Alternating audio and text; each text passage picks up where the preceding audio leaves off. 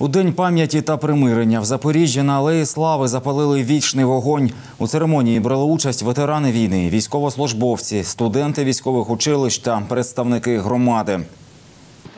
8 травня на Запорізькій алеї Слави зібралися мешканці міста, щоб традиційно запалити вічний вогонь. Андрій Дячко, діючий офіцер, вдячний за можливість долучитися до знакової церемонії. Прийняти участь в такому урочистому заході це завжди е, пошана, тому що ми віддаємо е, честь загиблим нашим дідам, загиблим хлопцям, які зараз е, ну, е, які приймали участь в війні на Донбасі. І для мене це шана прийняти участь в такому заході. Віктор Варшавеня, ветеран Другої світової війни, розповів, під час бойових дій був у партизанському загоні і вів підпільну війну з загарбниками. Ну, я принимал участие в Великой Отечественной войне.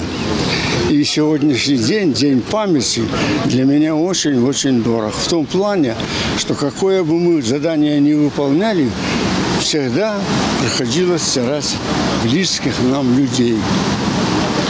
А что мы делали? Делали, что делают все партизаны. Взрывали стратегические мосты, нападали на немецкие гарнизоны, нападали на поезда с живой силой и техникой.